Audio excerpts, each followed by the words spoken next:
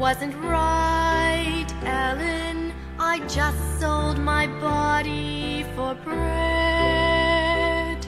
and often I dreaded